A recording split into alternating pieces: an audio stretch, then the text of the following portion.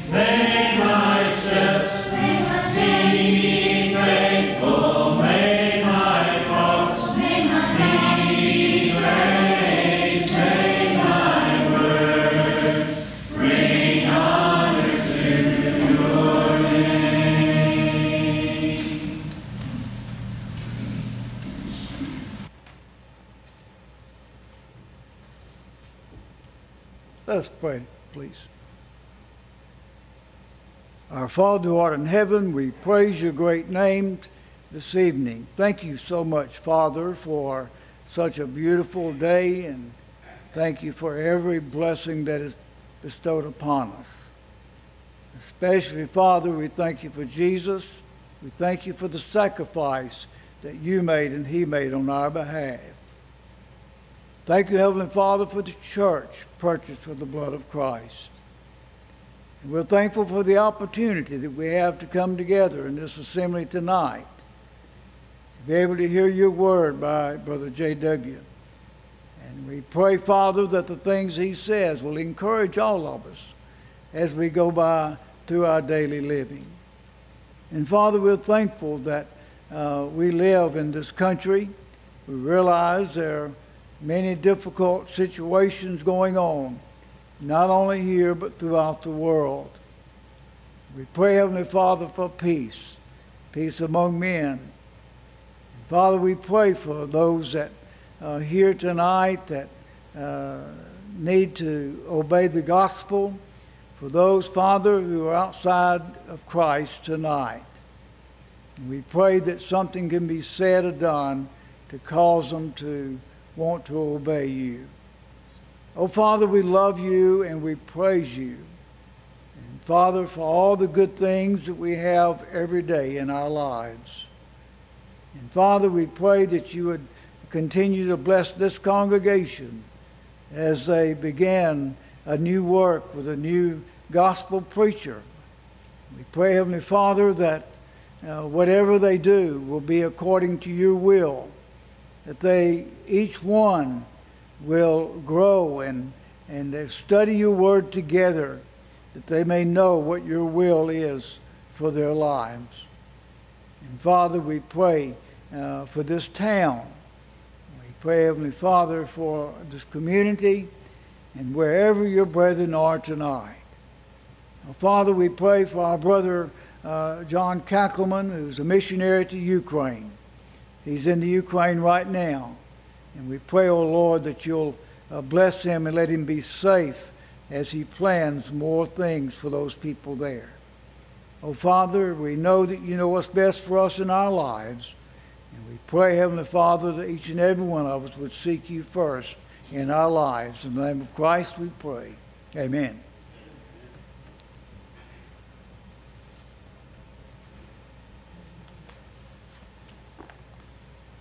Three eighteen do all three verses. Although I cannot see the way for life's impetuous sea.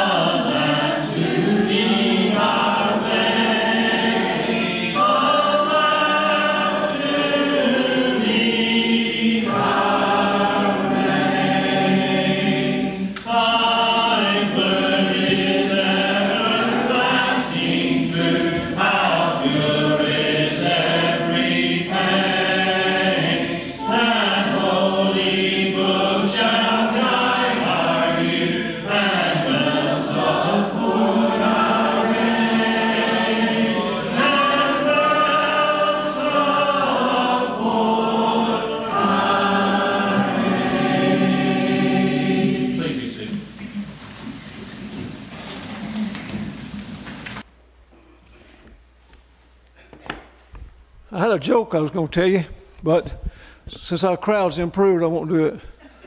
It was about a about a young preacher, and it was he just got him a new church, and it was his first time first sermon there, and uh, it snowed, and uh, he told his wife. His wife said, "Well, I'm not going. I'm not. You know, I've heard you preach this sermon all for the last two weeks. Says I, I know everything you're going to say, so I'm just going to stay home." So he goes on over there, and there wasn't but one fellow in the building. Everybody else stayed home. And so he said, Well, I guess me and you might as well go home. Fellow said, Preacher, let me tell you something. He says, uh, So I'm a farmer. I raise cows. So I went out this morning to feed the cows. and said, There But one cow come up. So well, I didn't not feed that one because the other ones didn't show up. So I went ahead and I fed the cow. He said, Well, I get your point. So I, I do my sermon. So he get up he preached the sermon. He went on and on and on. Boy, he did- dotted every T, crossed every, dotted every I, crossed every T, didn't leave anything out. Finally, he gets about 45 minutes later, he gets through. And he asked the guy, I said, What'd you think about my sermon? He said, Well, preacher, he says, like I said, I come down here to feed those cows. The only one showed up and said, I got a lot of feed in that barn, but I didn't give it all to that one cow. so hopefully, hopefully we can have something to say tonight. Uh, that'll be beneficial to us. We're talking about family. We're talking about eh, my particular topic is, really has to do with the, the mother and father, and especially the father. What a tremendous duty, responsibility, and privilege we have as parents in bringing children into the world and bringing those children up in the nurturing and admonition of the Lord. That's what we need to be doing. We need to be very diligent in this, and we can't be too careful that we don't make sure we do it right.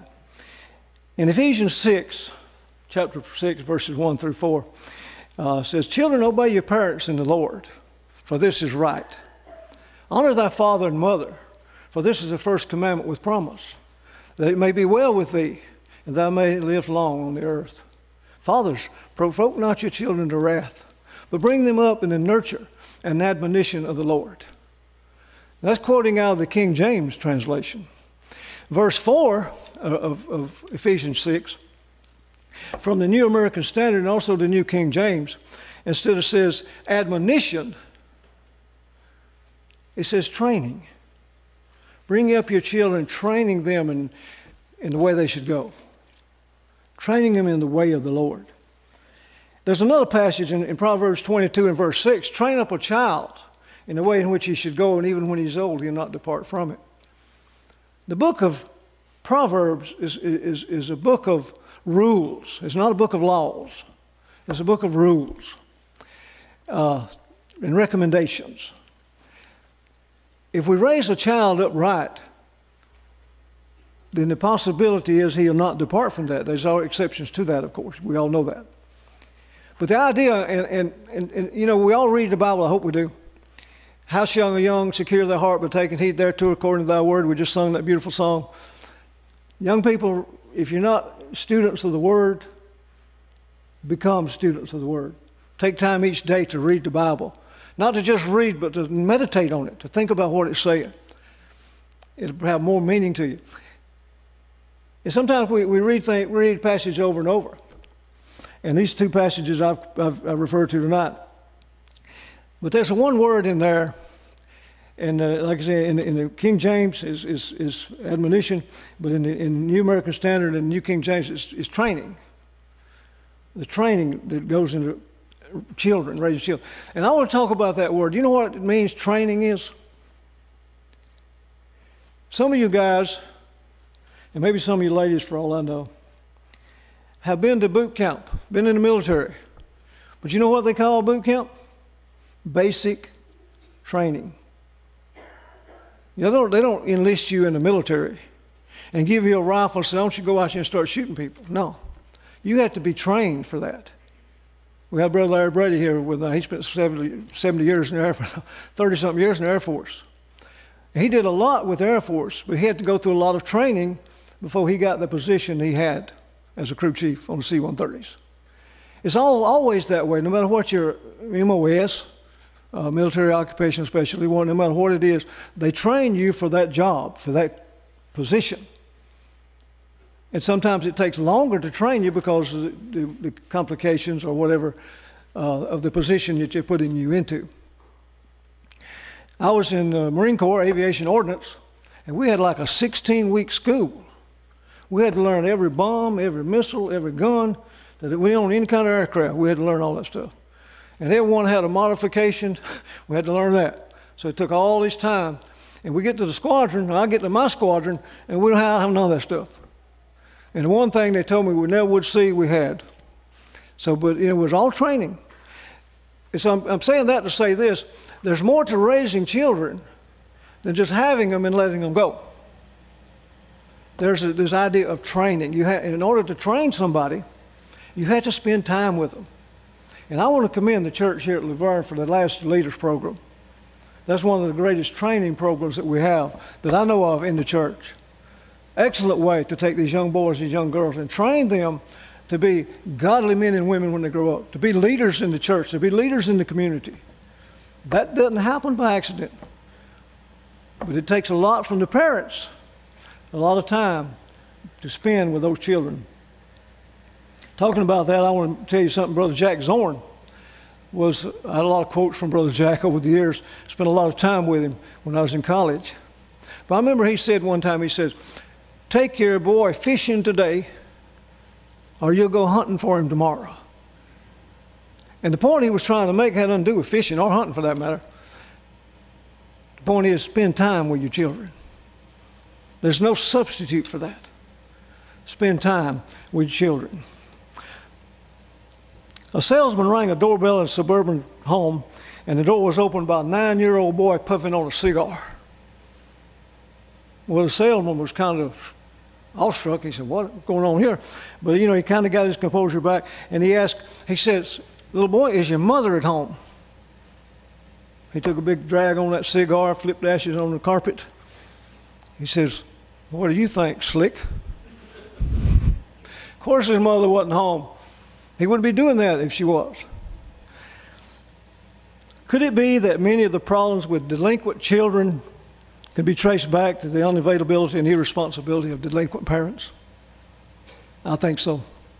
I think that's one of the problems we have in our homes in America today. Hopefully, not in the church.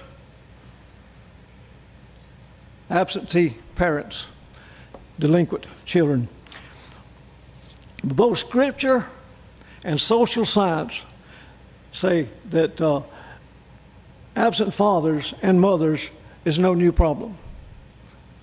It existed over 3,000 years ago. Solomon warned what would happen when children were not surrounded and supported by caring parents. Proverbs 29, verse 15, he said, The rod and rebuke give wisdom, but listen to this A child left to himself brings shame to his mother. A child left to himself. What a terrible thought. Children left to themselves. But parents who are too distracted, too disconnected, too undisciplined, too self absorbed in what's going on in their own lives to provide attention, affirmation, direction, discipline, and encouragement to their children, and nurture to their children, love and training to their children. A child left himself. Very haunting phrase. But there's more than one way to be absent from our children. Many teens in our day and age live in a private, adult free world most of the time. They're occupied by websites, video games, spending 20% of their waking time alone. 20% of the time they're totally alone. I'm reading most of this. Proverbs 20, 29 15 speaks to the problem of problem children, problem parents who leave the children to themselves. Absent from the God given task of bringing those children up in the nurture and admonition of the Lord. God expects us as parents to stay on the job, to keep on keeping on. Otherwise, it may be more than smoke or more than cigars that go up in smoke.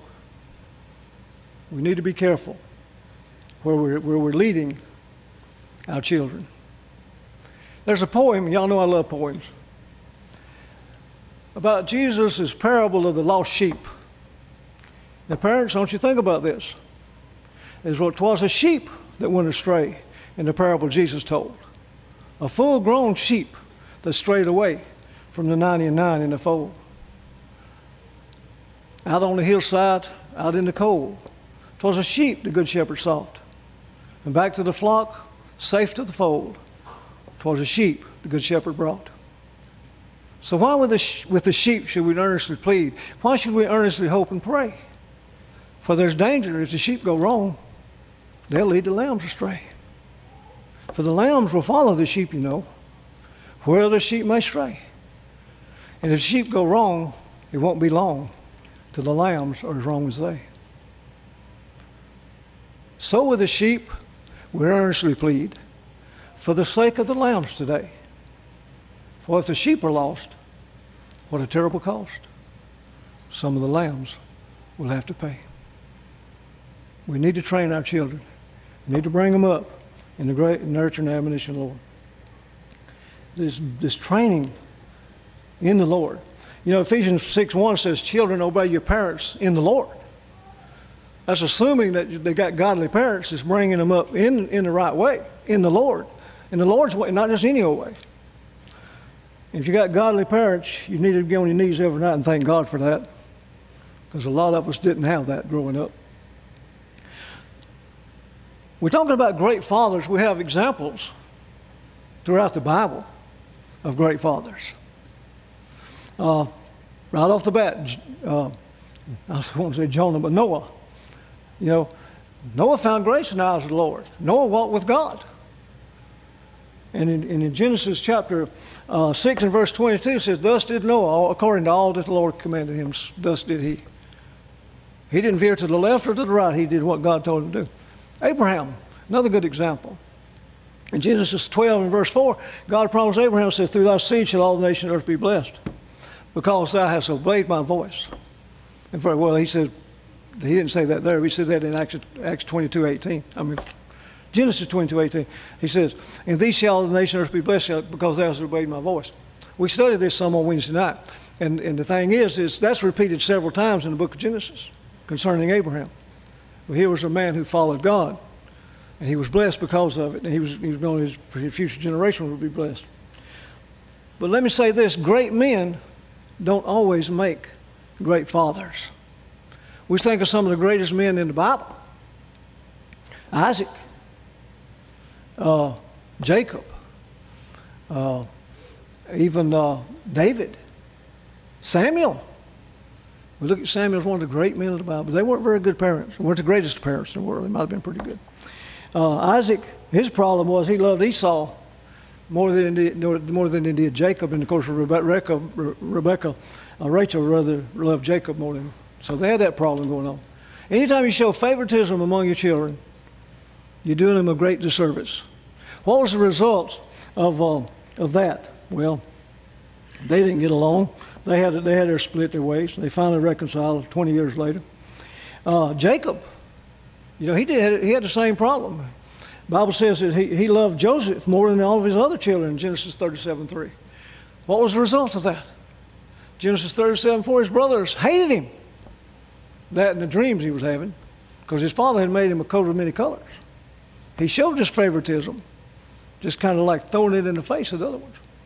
And they didn't, res- they, they resented that. So he was, he was a great man, but he wasn't, wasn't the best father in the world.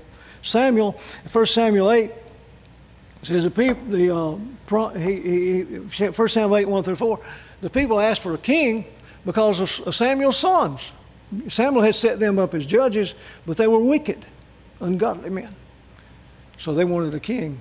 They didn't want these fellows leading them around. And David, of course, you remember what happened with uh, David's son Absalom? He killed his own brother and fled. Gone for three years. Finally comes back, and David did nothing. Winds up turning against David and tried to kill him. You heard the expression like father, like son? Is that scriptural? Kind of, sort of. Actually, what the Bible says in Ezekiel 66 44, as is the mother, so is the daughter.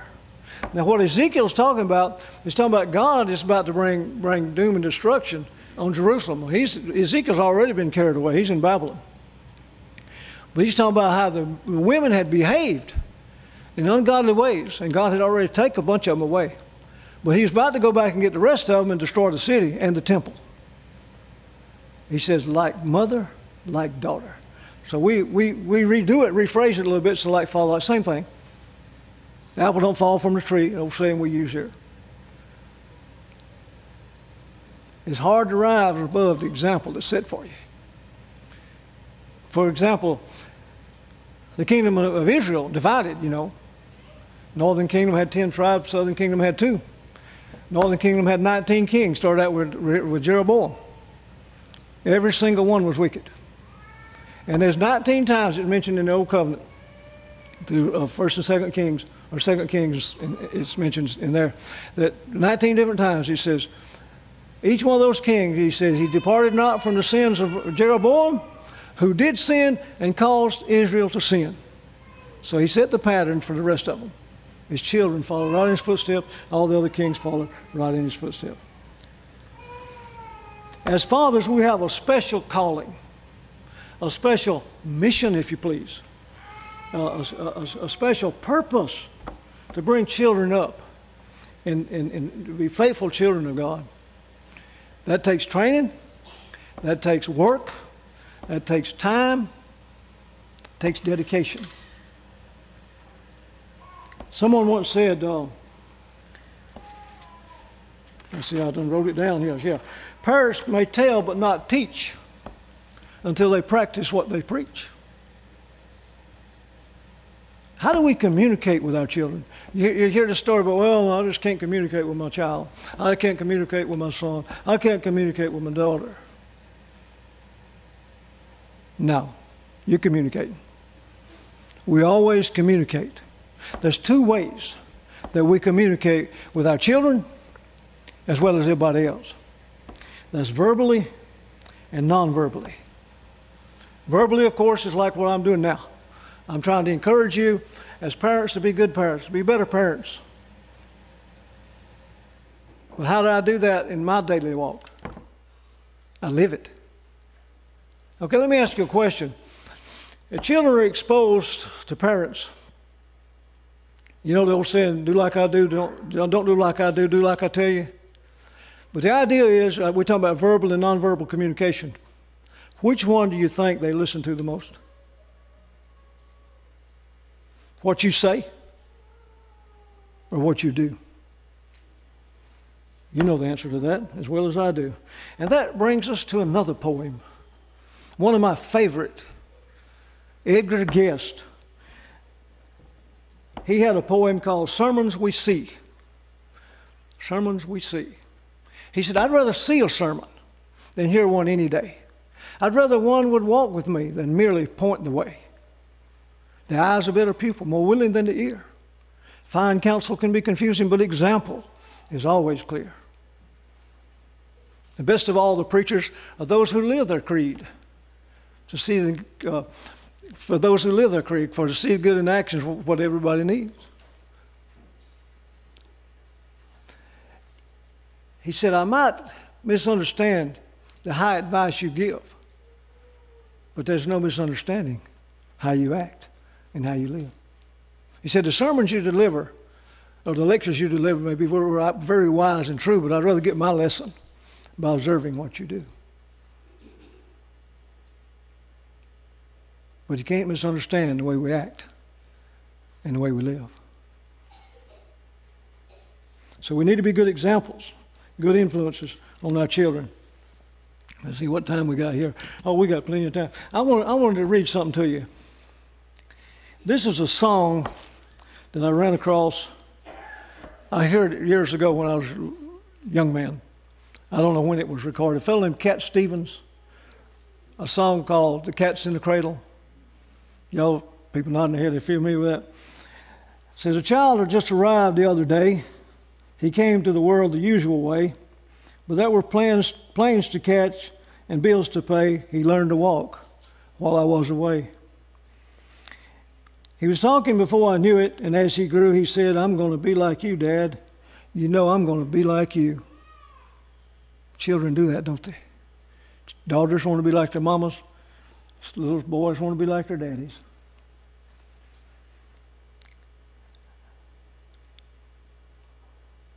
Okay, let me find it here. Okay, he said the cat's in the cradle and the silver spoon, little boy, and the man in the moon.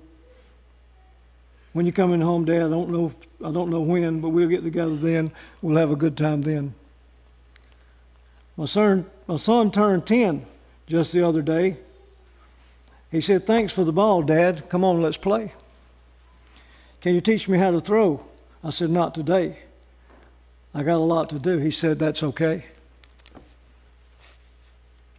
Uh, I'm going to mess this thing up. Going the wrong way, JW. I ain't no good at all this. But as he walked away, but his smile never dimmed, he said, I'm going to be like him.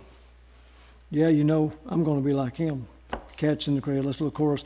Silver spoon, little boy grew, and the man in the moon grew. Little boy and the man in the moon. When you come, Dad, don't know soon, don't know when, but we'll get there. Then we'll know we'll have a good time then. He came from college just the other day, so much like a man, I just had to say, Son, I'm proud of you. Can you sit for a while? He shook his head and said with a smile, What I really like, Dad, is to, is to borrow the car keys. See you later. Can I have them, please? Cat's in the cradle, Silverman goes on with that again. I've long since retired. My son's moved away. I called him up just the other day. I said, I'd like to see if you don't mind. He said, I'd love to, Dad, if I can find the time. You see, my new job's a hassle, and the kids have the flu. But it's sure nice talking to you, Dad. Sure nice talking to you. As he hung up the phone, it occurred to me he'd grown up just like me. My boy was just like me. That's a song, I know, entertainment stuff, but it has so much meaning to it. That's, that's one of our problems with our society today. Not enough time spent with our children and, and, and dri- directing them in the way in which they should go.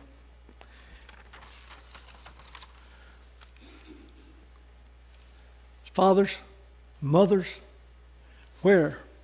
Where are we leading our children? They're going to follow us. Children naturally admire and imitate adults that nurture them. It's just a natural thing. It's just the way it is. Godly parents should be value builders in their children. They should be teaching and training and nurturing, developing in them a system of values society calls this socialization. Build up a system of values. Values are the beliefs to which one attaches worth.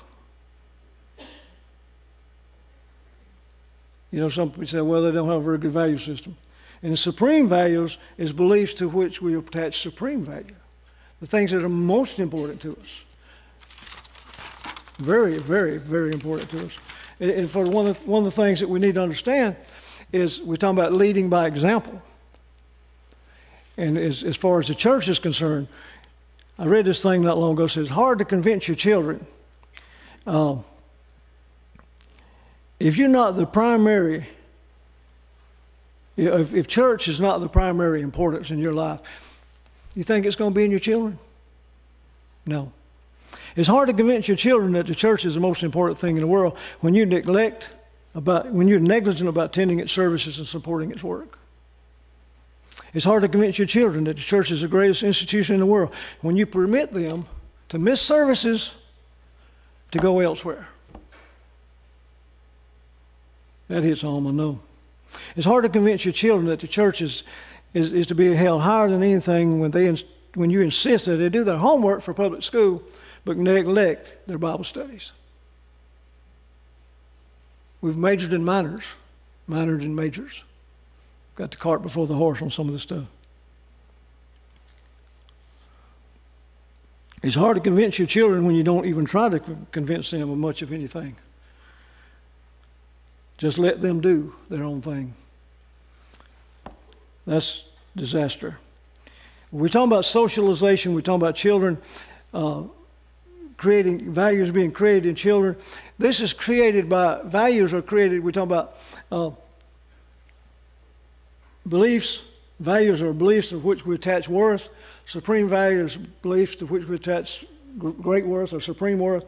Uh, this is developed in children a couple of ways by exposure and experience. What are our children exposed to more than anything else?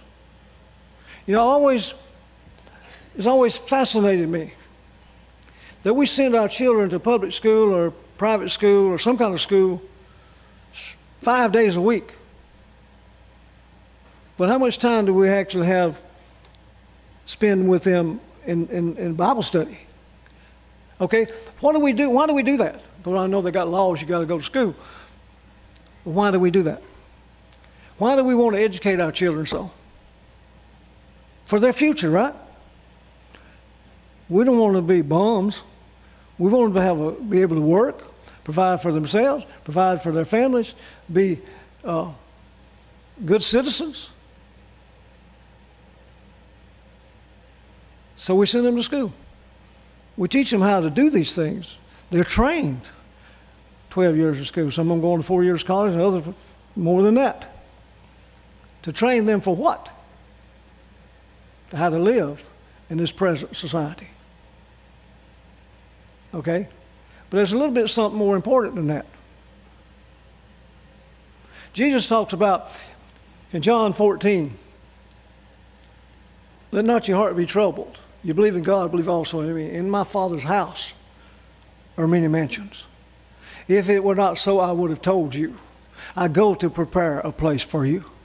And if I go to prepare a place for you, I'll come again, receiving them myself. Jesus is going to prepare a place for Matthew 25, 31 through 46, where the great judgment scene, where Jesus got, you know, he says, King- kingdom of heaven like sh- shall be likened to, uh, you know, these, all these things, and sheep, the shepherd dividing sheep from the goats, sheep on the right hand, goats on the left.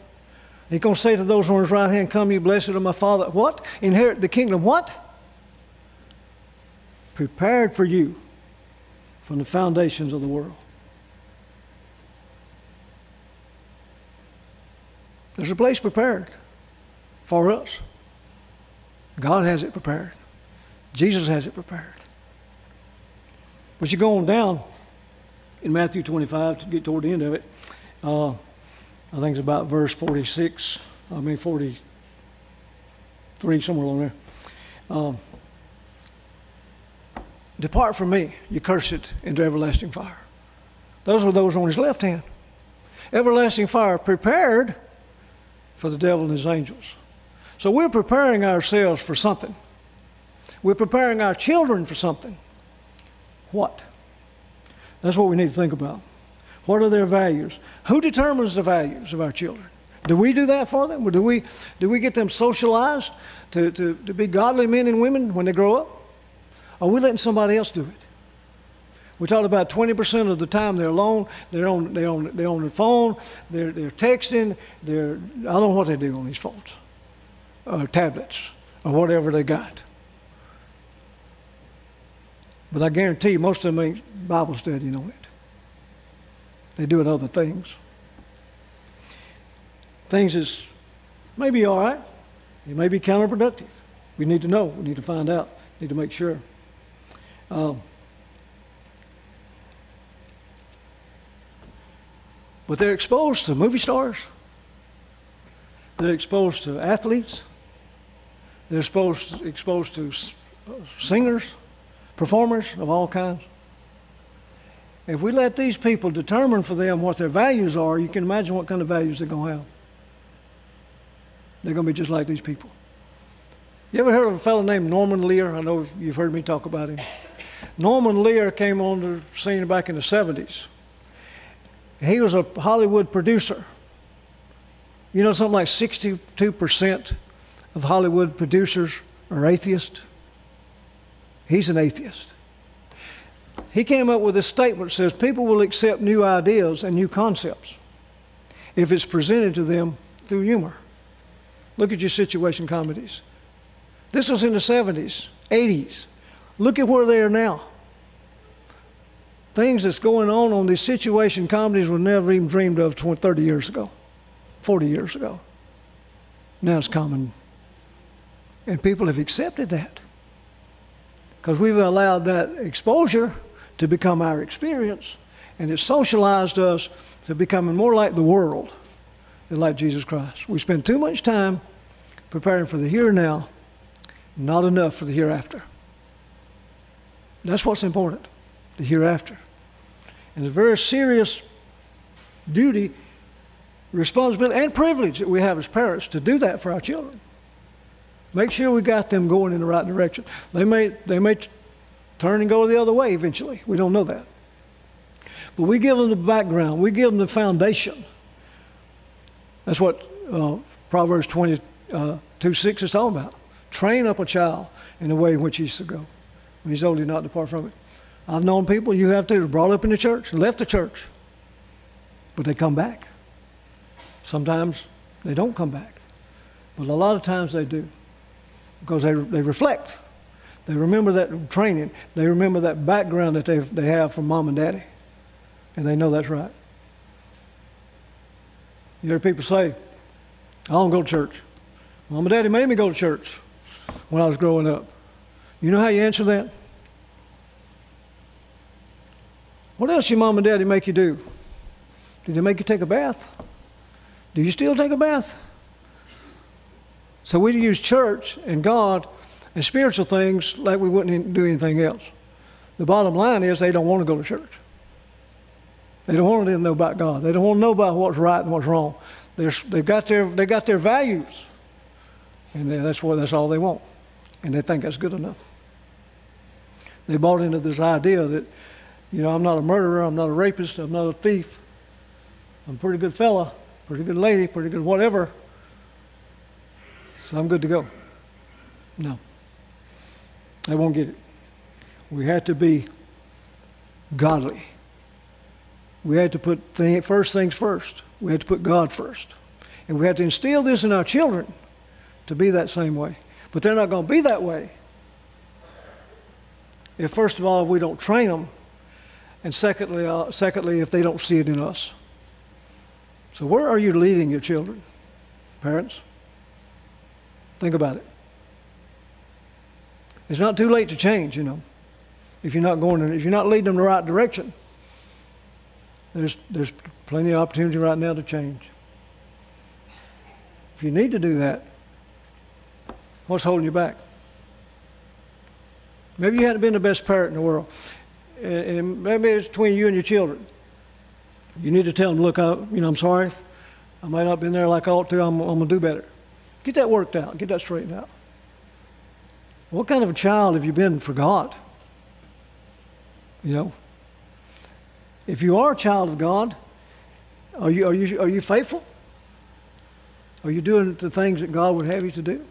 As a parent, bringing those children up the best way you know how. Nurture and admonition of the Lord. Fathers, provoke not your children to wrath, but bring them up in the nurture and training of the Lord. God expects us to train our children to do what's right, to walk in the light as, as Jesus is in that light, 1 John 1 7 through 9. So, where are we tonight? We talk about home, we talk about family, and this really breaks, that's where the rubber hits the road is the parents and the children.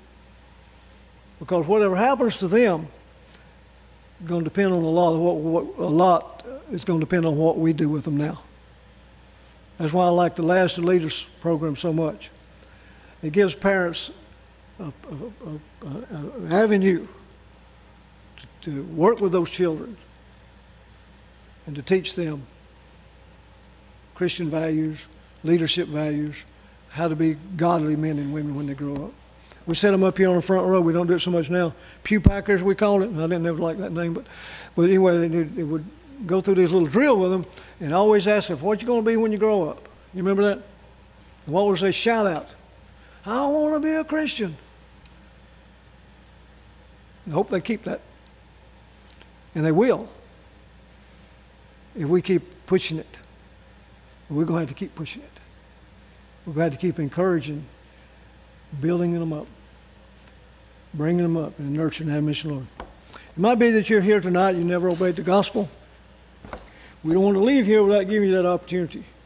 If you believe that Jesus Christ is the Son of God, you're willing to turn away from sin, confess faith in Jesus, and to be baptized in water for remission of sins, you can be added to God's family. That's what it's all about. God's family. That's the greatest family on earth. I mean, the physical families are great, wonderful. God bless us. We, we couldn't get by, can't get by without them. But then there's another family that's, that's even more special, more precious. That's God's family, the family that's going to live on in heaven throughout eternity. You know, one of the worst things I could think about would be to die and be lost and be right there beside my children because I didn't teach them, because I didn't develop them along the way. If you're here tonight and you need to obey the gospel, won't you, or you need to be restored, you got things in your life you need you need for the church to pray for you. We'd be glad to do that. So come on forward as together we sing this song.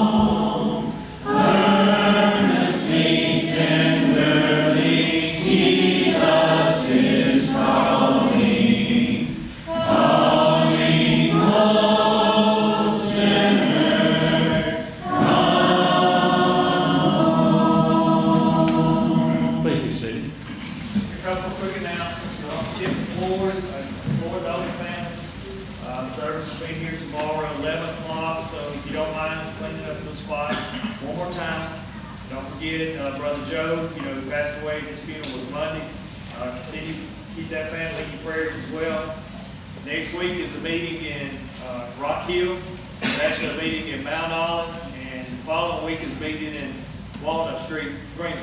So you got plenty to do. Ladies, I want to say thank you for what y'all done this week. I don't want to ask you to feed us again for the next six months, I think we'll be okay. All right, so y'all, y'all outwork yourself this week, and thank you for that.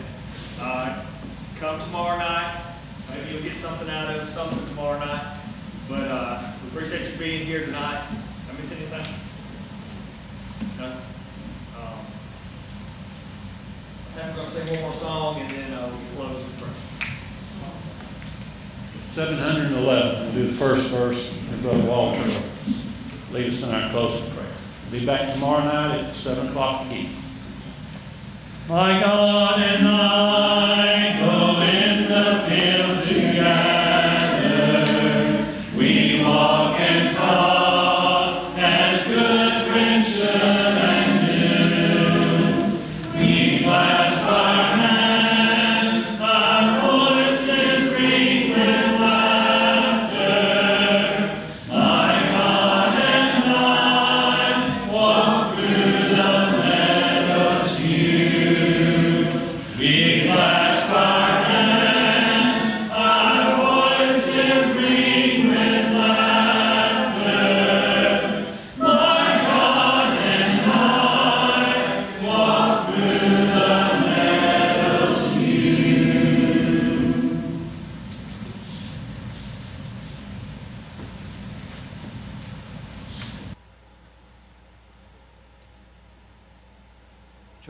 please?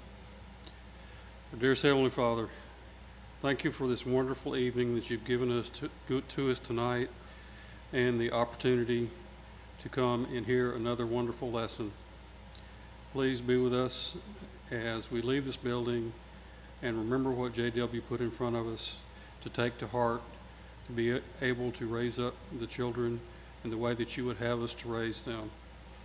Father, it's also our responsibility in other avenues and opportunities that you give to all of us, whether we have children or not, to also go out there in the community to grow this family and to also give us the opportunity to teach other people in the direction they need to go and bring them to you.